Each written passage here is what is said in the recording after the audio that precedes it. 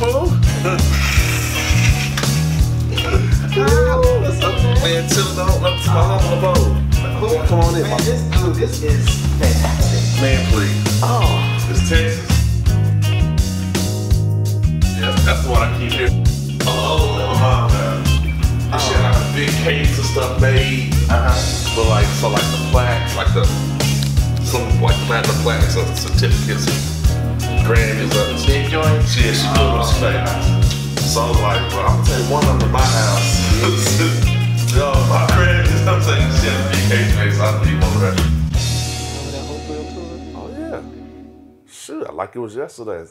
I mean, I think that was one of the that was one of the best tours that we done. Yeah, that tour. That Was, shit, that tour was fun. it was fun. It was not, oh, oh man, I, I think I have a reputation of corrupting people. I do, I do. Man. I think I think everybody like they like, oh yeah, I'm, I'm gonna live like a life that's holy, but when I want to go like be free, I'm gonna call Shaun Martin. I gotta I gotta work on that, man. yeah, yeah. I still love the Lord.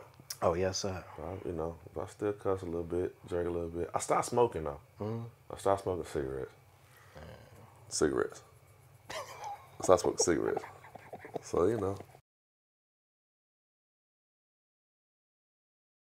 Uh, with Kirk, man. So I was in the whole God's property era, Okay.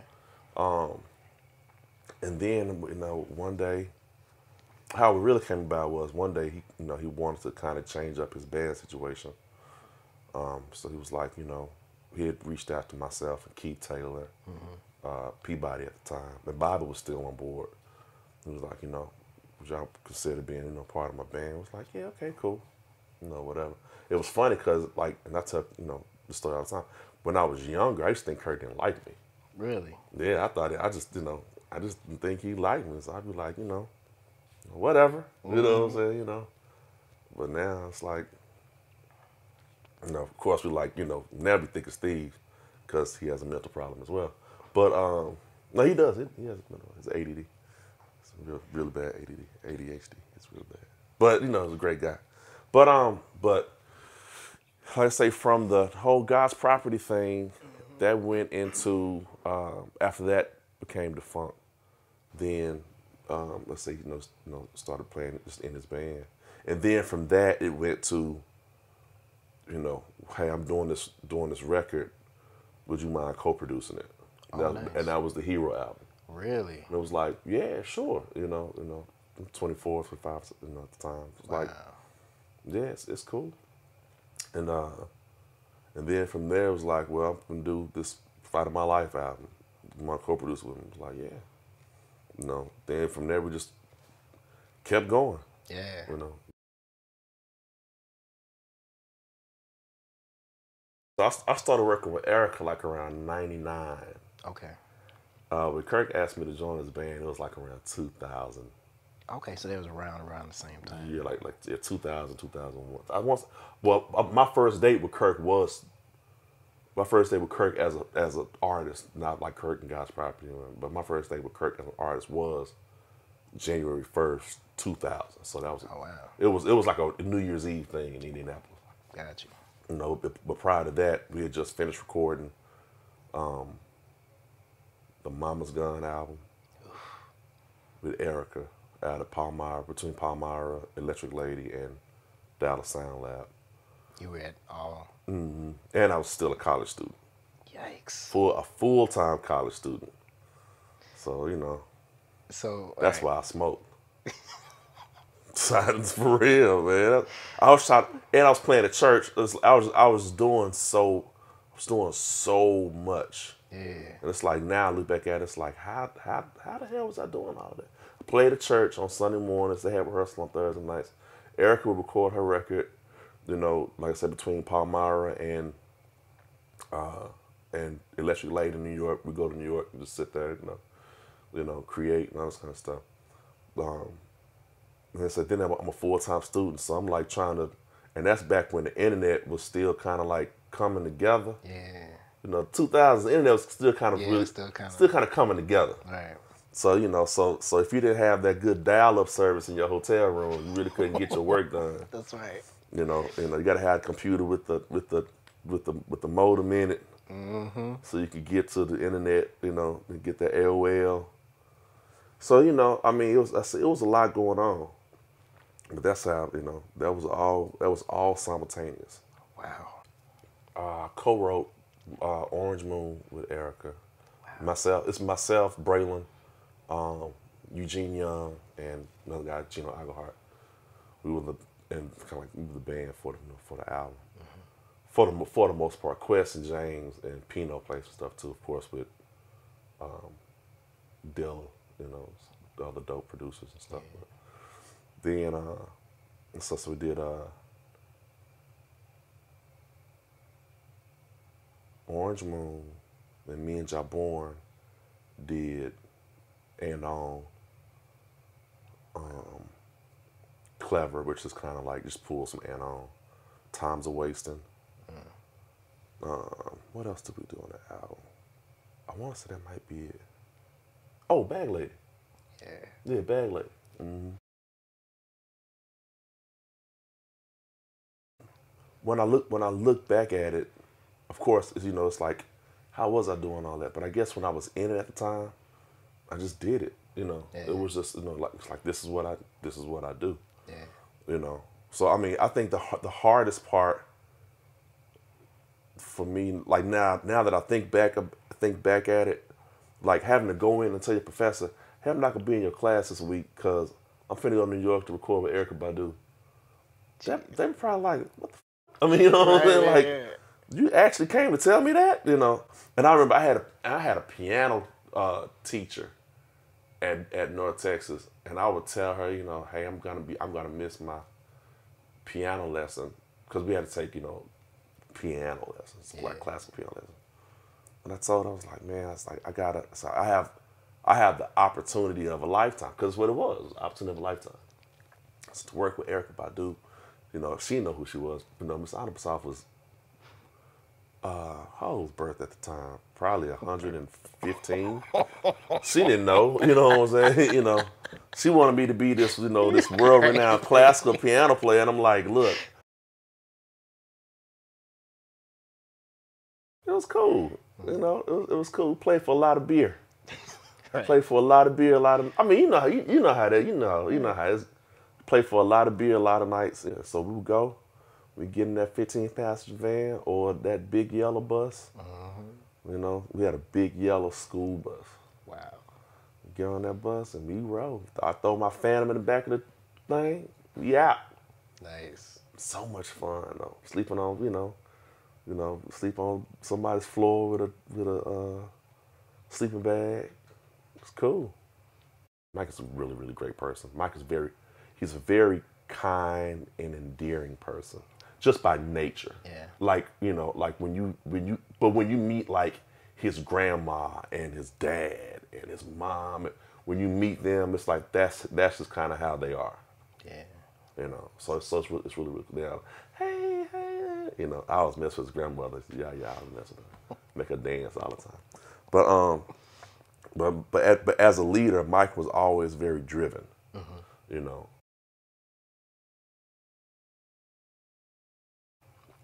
What was going on for me in that moment is that's when I was realizing that Cory is a fucking alien, and there's nothing we can do about it. There's nothing you can do. It. He's a freaking. He's a. He's an alien. I mean, you know. No, I. I think Cory is one of those players that has always uh, tonally pushed the envelope. So you know, it's kind of like, and that was a, that was one of the few times where Lingus has always been kind of like an open solo, you know, in in that part. But I think that was one of the few times where he just like really just dug into it. You know, I think out of all those out of all of those takes, each one was amazing, but I think that one take it was like, okay, like you like you can't just keep like smashing this thing like you know. So it was a series of smashings. Yeah, yeah, because you know, with, like when we do those records, it's like um, we'll do multiple because you know, th- you know those records are never overdubbed. Okay, right. There's there's no overdub. yeah. If you make a mistake, it's probably going to be on the record. You know what I'm saying? You know, if, you know, or, or whatever. Unless they can go and like nudge something out and nudge stuff around. I know Mike nudges my stuff. I get excited. I start rushing. I don't give a shit. Feels great.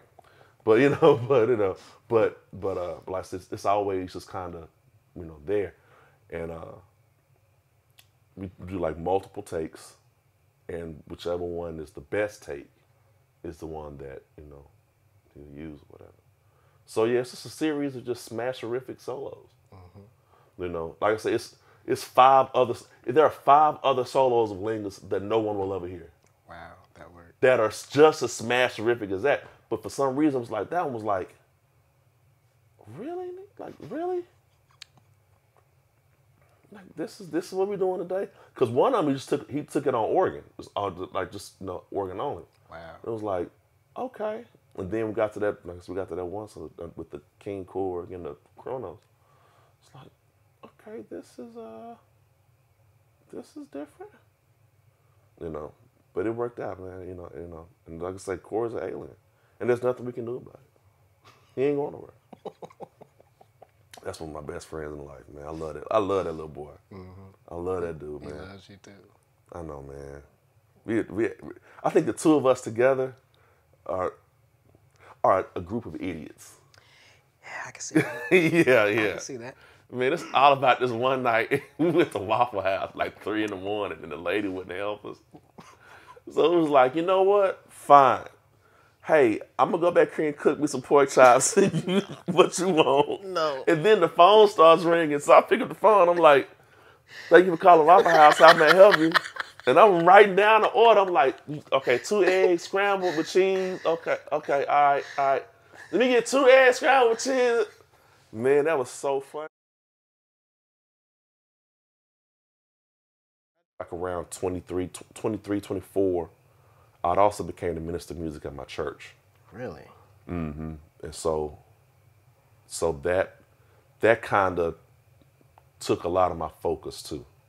You know, so I'm, I'm 24 years old at a church with 10,000 people, you know, and a choir, you know, of almost 250. You know, that's just, that's the mass choir, let alone the young adult choir, the sanctuary choir, the children's choir, the youth choir, the male chorus, women's chorus, praise team. It was like, you know, of course now I look back at my life and I'm like, what the hell was I doing at 24? Wow. You know what I'm saying? You know, but I don't know. I don't know. I don't know why Dr. Haynes would even do Wait, that. wait. Wait. You're at Freddie Haynes Church? Yeah. The minister of music? Yeah, I was, I The was- Freddie Haynes? The Freddie Haynes. The Freddie Haynes. Freddie Haynes is probably one of the greatest speakers, preachers, pastors of our time. Like literally, like like nobody. I I don't nobody, nobody puts it together like him. You know, it's and it's funny when you're when you're a minister of music, at a, especially at a church like like Friendship West. The music part is really only like twenty percent of it. You know, it's the it's the people. It's the the caring of people. It's the because when when you're over an auxiliary like that, you're basically the extension of the pastor. Yeah. You know, because they want to be able to con- connect uh, with the ministry in some some shape, form, or fashion. And so you're dealing with, you know, volunteers, you know, who's uh, some people just want to be around people. Some people need to be around people. Yeah. You know what I'm saying? You know, and you you, you manage you're managing that plus a staff plus a you know, but I mean, but it, it, like I said, I mean, it was a great experience. Well, three of them, three of them are collective. So, uh, of course, with the Snarky Puppy, uh, um, I can't even remember what the the things. I know one was like jazz, R and B, something, jazz record of the year, which is uh, I think Sylva, um, and then Culcha Vulcha, I think won for jazz something of the something. Those three are with uh, Snarky, and then I have four for producing with Kirk. Jeez. The Hero album, Fight of My Life, Hello Fear, and Losing My Religion, which is the one that's down there.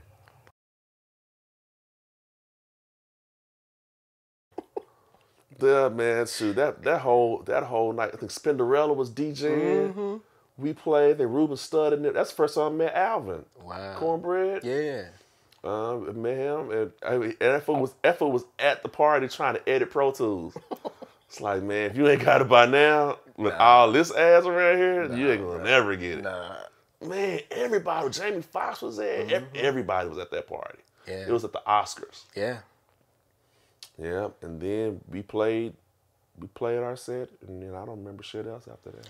Yeah, I don't really remember anything. I, I just remember it was a Patron party. I hung out with Ricky Rouse and ah. remember Ricky oh, Rouse? Yeah, oh yeah.